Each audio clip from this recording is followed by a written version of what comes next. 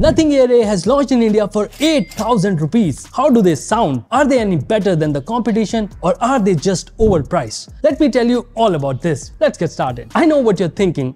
Why yellow? Well, Nothing wanted to give this new lineup a more playful look, so that's why. But they do come in standard black and white color as well, thank god. Apart from the color, the Ear A looks the same as the Ear 2. They weigh 4.8 grams each and fit very well on the ears with these silicone tips. They do pass the head shake test as well. Plus you get in-ear detection, pinch controls work well, and you can configure them in the Nothing X app to change volume, play pause tracks, ANC controls, and more. You can also set a widget on the home screen using the Nothing X app, which is very very useful. Other TWS brands, please take a note of this. Now the case on Ear A is completely different than the case on Ear 2. It's slimmer and rectangular and kind of looks like a miniature tiffin box. The pairing button is now on the inside and the hinge opens well, but the lid still moves a bit when the TWS is closed, just like the previous Nothing earbuds. Hope nothing fixes that. The case is IPX2 rated while the buds have an IP54 rating. On the connectivity front, the buds come with Bluetooth 5.3, dual connection, both Google Fast Pair and Microsoft Swift Pair support.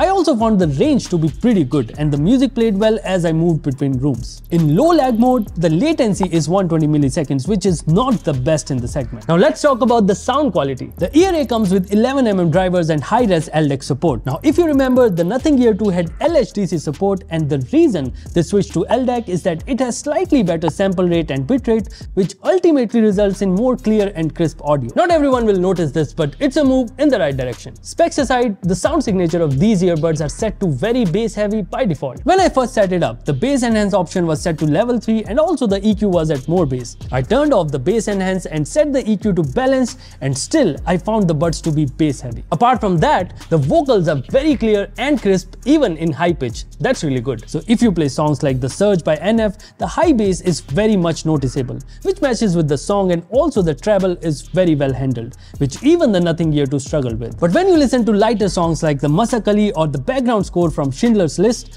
the bass unnecessarily kicks in which could be slightly unpleasant. Other than that, the soundstage is really good and even with comparatively smaller 11mm drivers, the bass is really good and it doesn't crush the treble. But I also compared these with other earbuds from Oppo, Realme and OnePlus. Here is the sound quality ranking for all of these earphones and yeah, only the Oppo Enco Air 3 Pro beat the Ear A in terms of overall sound quality. That's because Oppo just handles the bass better in my opinion. On top of that, Oppo also brings additional features such as personalized sound and even spatial audio which Nothing Ear A lacks. By the way, do note that you don't get advanced EQ or personalized sound profile on the Ear A that was present in Ear 2 which is a bit sad. Now, if you're thinking about the mic quality, well, the Ear A comes with three mics and the mic quality is actually very good. I took a lot of calls with these and the mic mics cut down on the background noise pretty well and my voice was clearly audible to the other person. The Enco Air 3 Pro, the Real RealBuds Air 5 Pro and the OnePlus Buds 3 also have decent mics but they are not as good as the Ear A. OnePlus Buds Pro 2R does perform better in mic quality but it's nowhere close to Ear A in terms of sound quality so there's that. When it comes to ANC,